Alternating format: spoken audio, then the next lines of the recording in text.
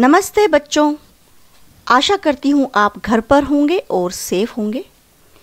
आज हम पढ़ेंगे कक्षा दस सीबीएसई हिंदी कोर्स ए का पाठ, सूर के पद। परंतु पहले सूरदास जी के जीवन के बारे में कुछ जानकारी प्राप्त कर लेते हैं। सूरदास जी का जन्म 1478 में माना जाता है। महाप्रभु वल्लभाचार्य के शिष्य सूरदास अष्टछाप के कवियों में सर्वाधिक प्रसिद्ध हैं। सन पंद्रह में बरसोली में उनका देहांत हुआ। उनके तीन ग्रंथ सूर सागर साहित्य लहरी और सूर सारावली में सूर सागर ही सबसे अधिक प्रसिद्ध हुआ है। खेती और पशुपालन वाले भारतीय समाज का दैनिक अंतरंग चित्र और मनुष्य की स्वाभाविक वृत्तियों का चित्रण सूरदास जी की कविता में मिलता है। सूर वात्सल्य और श्रृंगार के श्रेष्ठ कवि माने जाते हैं। कृष्ण और गोपियों का प्रेम सहज मानवीय प्रेम की प्रतिष्ठा बनता है। सूर ने मानव प्रेम की गौरव गाथा के माध्यम से सामान्य मनुष्यों को हीनता बोध से मुक्त किया और उनमें जीने की ललक पैदा की। इनकी कविता में ब्रज भाषा का निखरा हुआ रूप है। वह चली आ रही लोक गीतों की परंपरा की एक श्रेष्ठ कड़ी मानी जाती है। अब जो पद आपके पाठ में हैं, वे सूर सागर के भ्रमर गीत से हैं। कृष्ण जब मथुरा चले गए तो उनकी अनुपस्थिति में गोपियाँ व्याकुल हो उठी। विरह वेदना से जलती गोपियाँ कृष्ण को बुलाने के जतन करने लगी। किंतु कृष्ण ने स्वयं न आकर अपने प्रिय मित्र उद्धव को गोपियों के पास भेजा। और उद्धव जो निर्गुण ब्रह्म और योग साधना के उपासक थे वे गोपियों को भी यही संदेश देना चाहते थे, ताकि गोपियों की विरह वेदना शांत हो सके। परंतु गोपियाँ ज्ञान मार्ग पर नहीं चलना चाहती थी। वे तो प्रेम मार्ग अधिक पसंद करती थी। वे तो कृष्ण की भक्ति और उनके प्रेम में ही अपना जीवन व्यतीत करना चाहती थी। इस कारण उन्हें उद्धव का यह संदेश पसंद नहीं आया। तभी वहाँ एक भ्रमर आ गया। भ्रमर यानी भंवरा।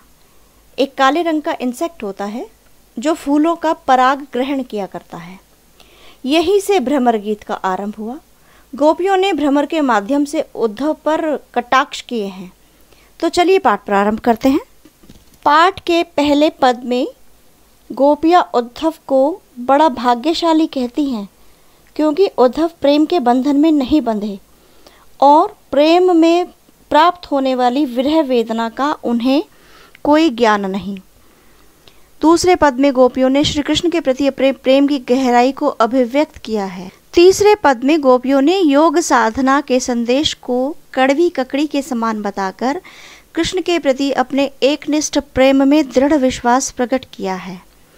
और चौथे पद में गोपियाँ उल्हाना देती हैं कि कृष्ण तो पहले से ही बहुत चतुर थे और अब उन्होंने और राजनीति पढ़ ली है।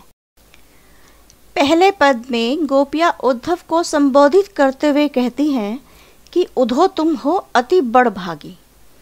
अपरस रहत स्नेह तगाते नाहिन मन अनुरागी। पुरैन पात रहत जल भीतर तारस देह न दागी। जो जल महा तेल की गागरी बूंद न ताको लागी। प्रीति नदी में पाव न बोरियो दृष्टि न रूप परागी।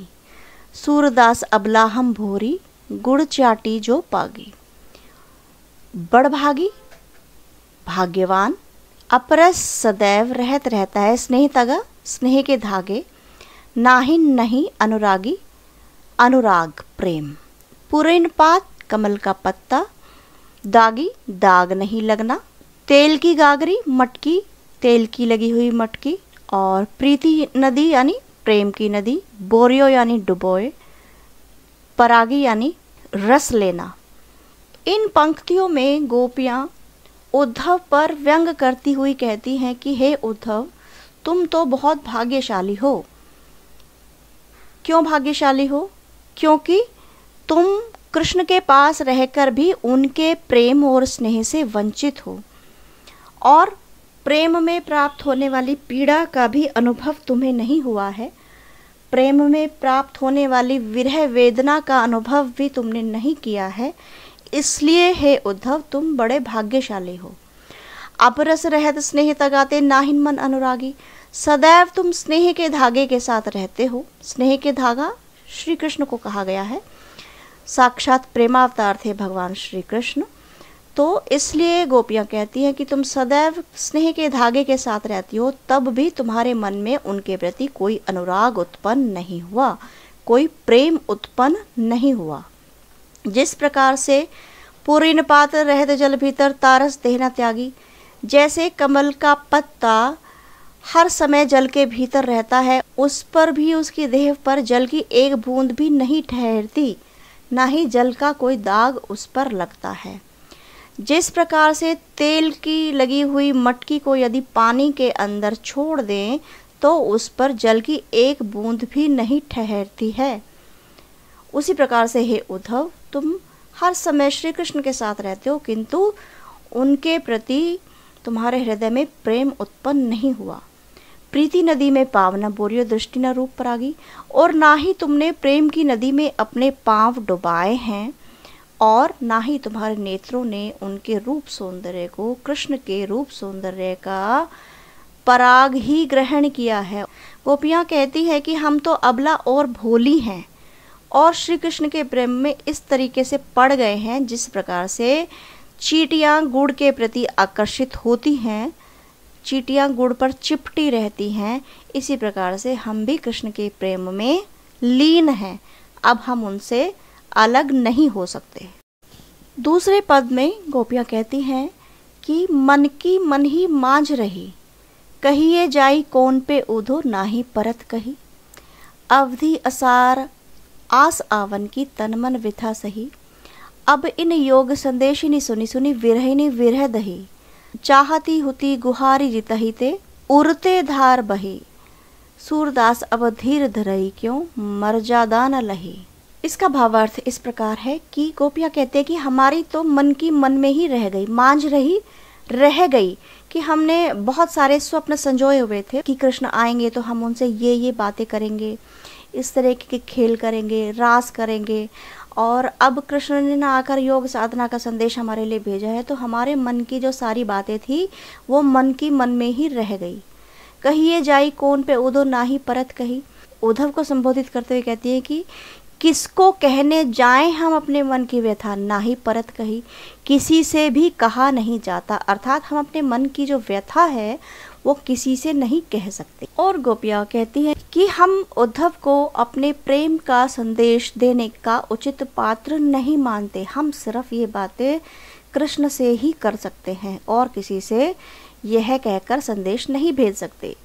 आगे वे कहती हैं कि इतने समय से कृष्ण के लौट आने की आशा को हम आधार मानकर अपने तन मन पर हर प्रकार से विरह की व्यथा सह रही थी कि उनके आने से हमारे सारे दुख दूर हो जाएँगे। परंतु उन्होंने स्वयं न आकर योग का संदेश भेजा। तो अब गोपिया कहते कि अब इन योग संदेश ही सुनी सुनी विरहनी विरह दई अब इन योग के संदेश को सुन सुनकर, इस योग साधना के संदेश को सुनकर, हम विरहिणी की जो विरह पीड़ा है, और ज़्यादा भड़क उठी है। जो विरह की आग जो है, वो और अधिक जलने लगी है। चाहती हुती गुहारी जितईते उड़ते धार बही।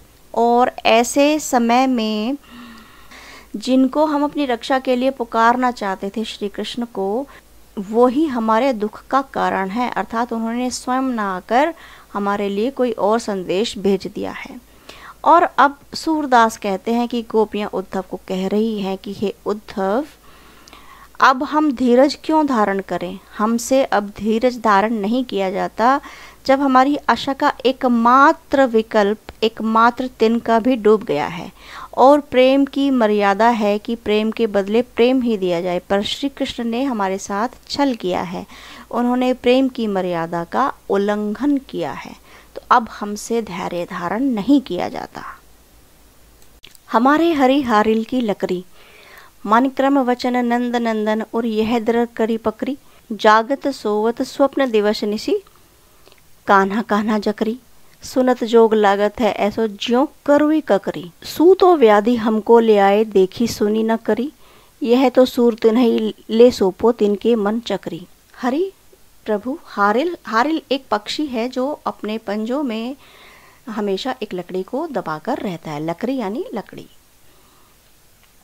दृढ़, दृढ़ता के साथ करी पकड़ी पकड़ रखी है। जागत सोवत, जागते हुए सोते हुए स्वप्न दिवस, स्वप्न में दिवस में निशी रात्रि में कान्हा काना कान्हा काना जकरी जपते रहते हैं।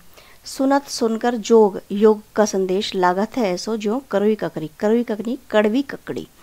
सूतो व्याधि यानी बीमारी, देखी सुनी ना करी। व्याधि मीन्स बीमारी।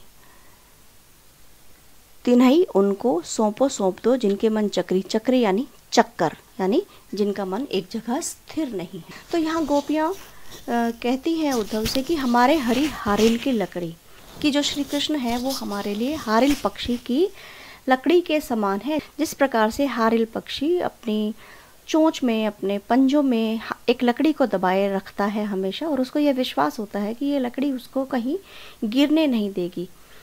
इसी प्रकार से हमारे जो श्री कृष्ण है, वो हमारे लिए हारिल पक्षी की लकड़ी के समान हैं। हम, वो हमें, वही हमारे जीवन का आधार है, जीवन का सहारा है। मन क्रम वचन नंद नंदन और यह दृढ़ कड़ी पकड़ी। और हमने अपने मन, अपने क्रम और वचन से नंद नंदन यानी श्री कृष्ण को दृढ़ करके, अपने हृदय में दृढ़ करके धारण किया हुआ है। नंद बाबा के पुत्र को, श्री कृष्ण को हमने अपने मन, वचन और कर्म से अपने हृदय में धारण किया हुआ है। जागत सोवत स्वप्न दिवस ऋषि कान्हा कान्हा जकरी और हम तो जागते हुए, सोते हुए स्वप्न में, दिवस, दिन में, रात्रि में सदैव कान्हा कान्हा ही जपते रहते हैं। सुनत जोग लागत है ऐसो ज्यो करोई ककरी। और तुम्हारी ये योग की बातें सुनकर, योग साधना का संदेश सुनकर तुम्हारा ऐसा लगता है जैसे कड़वी ककड़ी। ये तुम्हारी योग साधना का संदेश तो हमें कड़वी ककड़ी के समान प्रतीत होता है। सू तो व्याधि हमको ले आए। व्याधि मीन्स बीमारी। कि ये जो योग साधना की बीमारी तुम हमारे लिए लाए हो, हमने तो इसे ना कभी देखा और ना इसके बारे में कभी सुना है।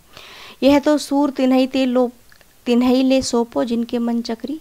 गोपियाँ सूरदास कहते हैं कि गोपियाँ उद्धव से कहती हैं कि ये तो तिन्हिले सौंपो। उनको सौंप दो, उन मनुष्य को दे दो जिनके मन चक्री। जिनके मन में चक्कर है, यानी जिनका मन कहीं एक जगह पर स्थिर नहीं है। क्योंकि हमारा मन तो स्थिर है, पहले से ही श्री कृष्ण की भक्ति, उनके प्रेम में हमारा मन जकड़ा हुआ है। तो अब हम अब हमारे मन में तुम्हारे योग साधना की कड़वी ककड़ी का कोई स्थान नहीं है। हरी है, राजनीति पढ़ आए। समुझी बात कहत मधुकर के समाचार सब पाए। इक अति चतुर होते पहले ही अब गुरु ग्रंथ पढ़ाए। बड़ी बुद्धि जानी जो उनकी योग संदेश पठाए। उधो भले लोग आगे के परहित डोलत धाए। अब अपने मन फेर पाइये चलत न होते चुराए। ते क्या अनीति करे आपुंजे और अनिति छुड़ाए। राज धर्म तो यह सूरजो प्रजा न जाही सताए। हरि यानी श्री कृष्ण चतुर यानी बुद्धिमान पहले ही होते थे। बड़ी बुद्धि यानी बहुत बुद्धिमान। योग संदेश यानी योग का संदेश पठाया यानी भेजा है। पर हित यानी दूसरों के हित के लिए डोलत धाय यानी घूमते रहते हैं। फेर पाइए यानी फिर पा लेंगे दोबारा से पा लेंगे जू हुते चुराए जो चुरा लिया था। इस पद में गोपियाँ निसंकोच उद्धव से कहती हैं कि, हे भ्रमर रूप उद्धव, ऐसा प्रतीत होता है कि अब तो श्री कृष्ण ने राजनीति पढ़ ली है। आपके योग संदेश को सुनकर तो हम पहले ही समझ गई थी, क्यों किंतु अब समाचार जानकर पूर्ण विश्वास हो गया कि श्री कृष्ण राजनीति पढ़कर और ज़्यादा चतुर हो गए हैं। एक तो वो पहले ही बहुत चतुर थे, व्यंग करते हुए, श्री कृष्ण पर व्यंग करते हुए गोपियाँ कहती हैं कि पहले ही वो बहुत चतुर थे। किंतु अब गुरु ग्रंथ पढ़ाए, किंतु अब तो उन्होंने राजनीति का ग्रंथ पढ़ लिया है। अपने गुरु से वो राजनीति का ग्रंथ पढ़ चुके हैं। और राजनीति का ही यह प्रभाव है कि बुद्धि चातुर्य में श्री कृष्ण इतने कुशल हो गए हैं कि उन्होंने योग का संदेश हमारे लिए भेजा है। हम तो प्रेम मार्ग पर चलने वाली गोपियाँ हैं। हमारे लिए तो श्री कृष्ण का प्रेम ही पर्याप्त है, किंतु वो इतने चतुर, इतने चालाक हो गए हैं, व्यंगात्मक स्वर है गोपियों का। और गोपियाँ कहती हैं कि, हे उद्धव जी, इसमें तुम्हारा कोई दोष नहीं है।